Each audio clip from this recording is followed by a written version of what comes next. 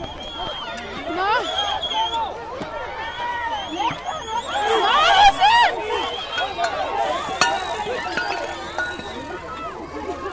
Y es que esta crisis del COVID-19 ataca absolutamente a todo el mundo y a los más necesitados, personas más humildes, pues están pasando difíciles situaciones y de esta manera están pidiendo ayuda del gobierno. Esto es en Ciudad Bolívar. La gente de República de Canadá está clamando por alimentos, pero esto no solamente se da en este punto, también en diferentes localidades de Bogotá. Leonardo Ballesteros, los detalles. Hola Aníbal, televidentes de arriba Bogotá, muy buenos días. Pues efectivamente avanza un cacerolazo. Este es el sonido del hambre de las personas que están buscando un auxilio por parte del distrito aquí en la localidad de Ciudad Bolívar. Escuchemos unos momentos del ambiente que se vive a esta hora aquí en el sur de la capital del país.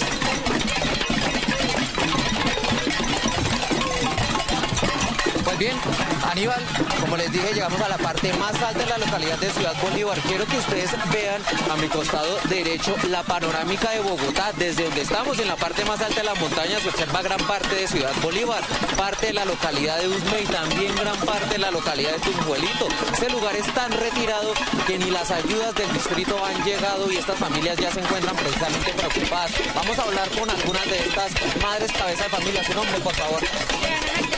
Bueno, Diana, ¿qué está pasando acá? La. La situación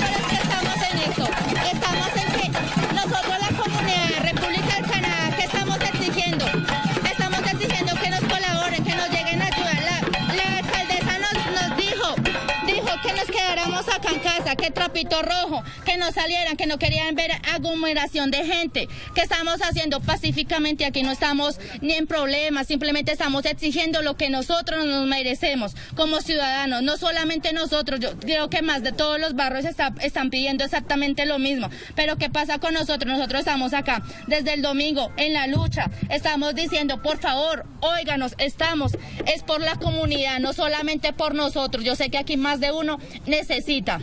Está, Aníbal, eh, televidentes de, arriba Bogotá, pues como ustedes pueden observar, esta es la situación. Inicialmente eh, la movilización fue con tarapos rojos, un movimiento que se está viendo en gran parte de la capital del país, en diferentes barrios, no solo en Ciudad Bolívar, sino también en Bosa, en Usme, incluso también en la localidad de Usaquena al norte. El tarapo rojo, el símbolo eh, de estas familias, de las viviendas que necesitan un alimento, que necesitan que el distrito llegue. Y debido a que avanzan los días, avanza la cuarentena en la capital del país, no llegan los auxilios, los subsidios, mucho menos, pues entonces las personas decidieron utilizar esas ollas con las cuales no tienen cómo llenar, pues para realizar un cacerolazo como se está presentando pues a esta hora. Las personas de manera pacífica se están movilizando eh, por las calles del barrio República eh, de Canadá. Vamos a hablar con otra persona Vamos a hablar con otra persona aquí en la localidad de Ciudad Bolívar, otra señora eh, que nos cuenta cuál es la situación que se está presentando acá. Bueno, eh, buenos días, su nombre, por favor. Buenos días, mi nombre es Mayerly García. Mira, lo que pasa es que, como decía mi compañera aquí presente, desde el domingo estamos haciendo este cacerolazo precisamente porque no nos escuchan.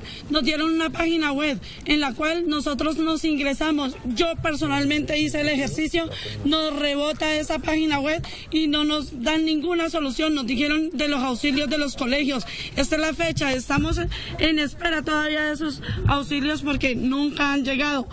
También nos dijeron que los niños iban a tener el estudio gratuitamente. Los papás que no tenemos internet en la casa, ¿qué vamos a hacer con nuestros niños? No nos ha llegado ninguna clase de ayuda.